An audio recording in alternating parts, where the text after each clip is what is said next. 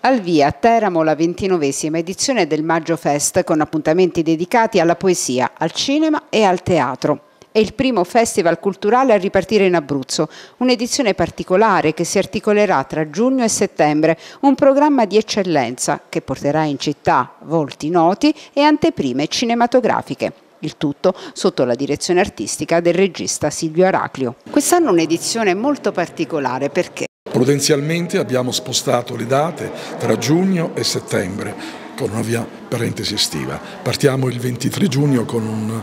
con il segno di Dante, con Vita Nova, sono otto sonetti nelle trasposizioni di Daniele Tanasio, che è una poeta che si conosce anche a Teramo. Però poi andiamo a luglio, anche qui con Dante, 3 luglio, Piazza Sant'Anna eh, alle 9, Inferno, eh, nell'edizione eh, rivisitata eh, della nuova pellicola eh, sonorizata da Edison Studio, la pellicola del 1911, quindi una pellicola muta, e a seguire omaggi festeggianti, il primo, un ricordo di Dino Manfredi a 100 anni della scomparsa, sempre a Piazza Sant'Anna, con Pane e cioccolata di Brusati, che è una delle pellicole più eh, diverse, in qualche modo più drammatiche del grande attore.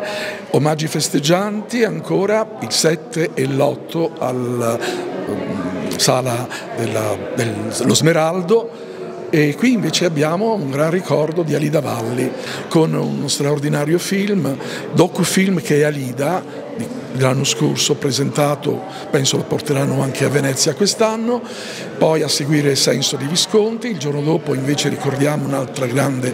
attrice italiana amata anche in tutto il mondo, Giulietta Masina, anch'essa a cent'anni e quindi un omaggio della morte, con una coppia restaurata della Cineteca di Bologna, Giulietta degli Spiriti. A sostenere economicamente e logisticamente questa bella edizione del Maggio Fest hanno concorso le maggiori istituzioni cittadine, il Comune e la provincia di Teramo, la Fondazione Tercas, il BIM e l'Università, perché è dalla cultura che riparte il vivere insieme.